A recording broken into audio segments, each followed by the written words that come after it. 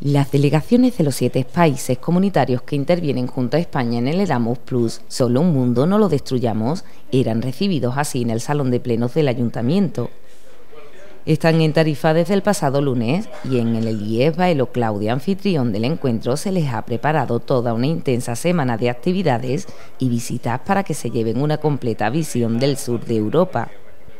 Para el IES Baelo Claudia, centrado en la educación secundaria obligatoria, este es el segundo proyecto de cooperación escolar que trata de estrechar lazos y ampliar conocimientos con comunidades educativas de otros puntos de Europa. Participan docentes y alumnos de puntos cercanos como Francia e Italia, pero también otros más distantes como Letonia, Grecia, Bulgaria, Rumanía y Turquía. Todos se han trazado el mismo objetivo, reflexionar y practicar el reciclaje, la reutilización de residuos, el ahorro energético y aquellas pautas que pueden ayudar a conservar el planeta. Este es el segundo proyecto en el que participa el Bailo Claudia. Anteriormente participamos en un proyecto que se denominaba Comenius y actualmente ha cambiado eh, a Erasmus. El título de nuestro proyecto sería Only One World, Don't Waste It. Solo tenemos un mundo, vamos a intentar cuidarlo, respetarlo, no, no malgastarlo. Este es el primer encuentro y efectivamente nosotros somos los anfitriones y hemos organizado un programa de actividades a lo largo de esta semana para discutir y trabajar las actividades que hemos ido cada uno desarrollando en nuestro centro escolar junto con nuestros alumnos, eh, las hemos puesto en común, hemos visto cómo se trabaja en los diferentes países y, a su vez hemos hecho una serie de visitas culturales para que conozcan nuestro entorno, nuestra zona y la verdad que ha salido fantástico.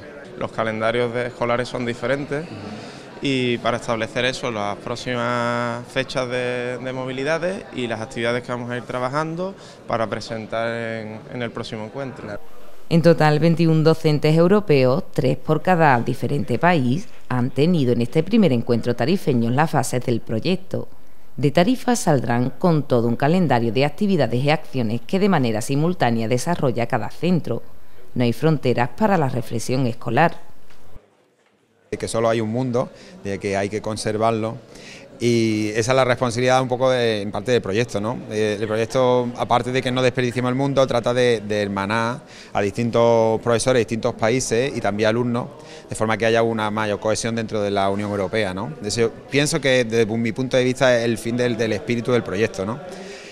Es por eso que, nos hemos encontrado aquí por primera vez, como ha dicho Curro, para establecer esos puntos sobre los que vamos a trabajar dentro del programa de Solo tenemos un mundo y no debemos desperdiciarlo, tenemos que aprovechar todos sus recursos, tenemos que aprender a reciclar. ¿no?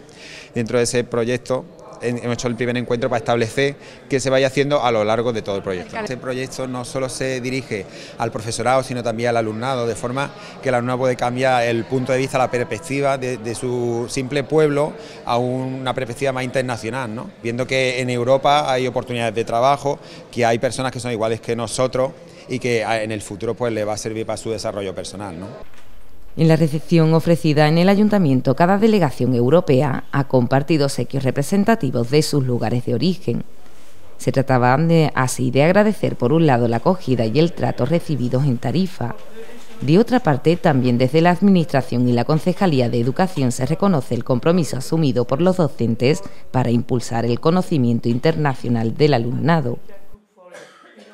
Desde la fría Letonia hasta la cercana Italia, todos comparten la idea de trabajar por mayor conciencia de respeto al medio ambiente.